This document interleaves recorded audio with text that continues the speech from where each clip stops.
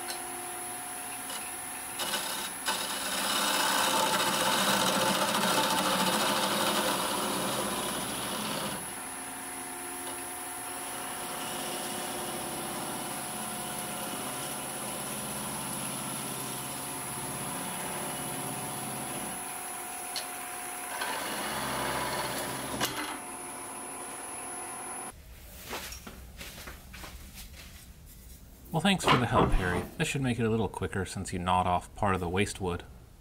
Yeah, it's the least I can do since I'm not eating any logs today.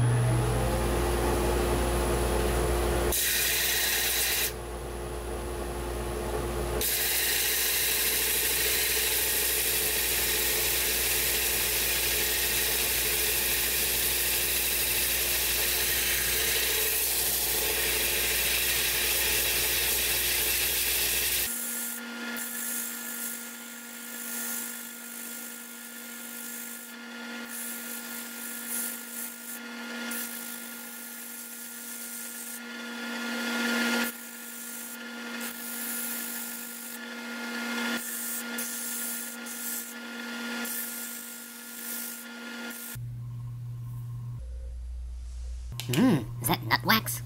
It sure is, Harry. Walnut wax. Oh, that's the wrong kind of wax. I'm getting a little furry. Uh, yeah, you're a beaver.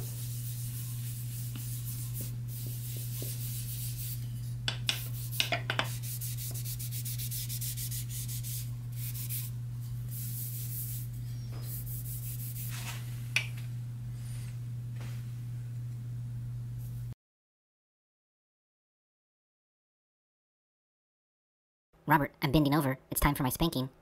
How hard do you want it, Harry? Give it to me. Ooh. Ah. Okay, okay, okay, that's enough. You're weird, Harry.